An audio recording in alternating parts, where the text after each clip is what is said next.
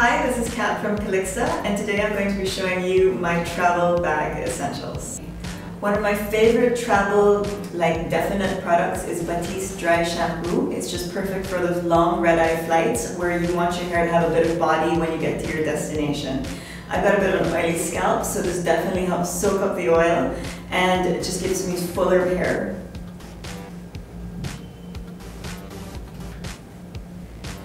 Mouthwash is an absolute must. You don't want to get to your destination with a cotton mouth happening, really. You never know who you're going to meet.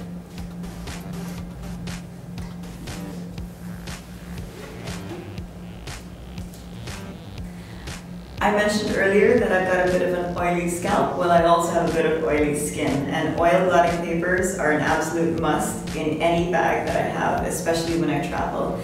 It's great for a quick touch-up in the bus, the train, the plane, anywhere that you're heading, and you get there looking fresh.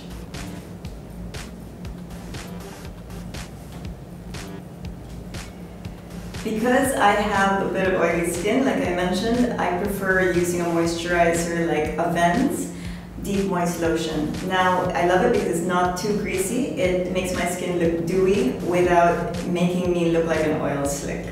And it's just perfect. You use it morning and night, and you wake up with just fresher looking skin as well. Last but not least, I really like Hourglass's Sunset in Illume.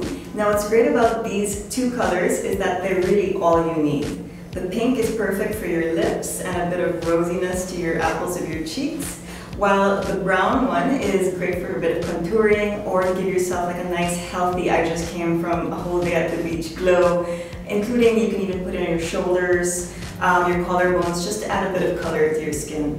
Honestly ladies, this is all you need to just give you that nice flush while you're in your travels. Thanks for joining me today. I hope you enjoyed learning a bit about my travel essentials. Don't forget to follow us on Twitter, Facebook, and Instagram at Calyxta Beauty. And I hope to see you at calyxta.com.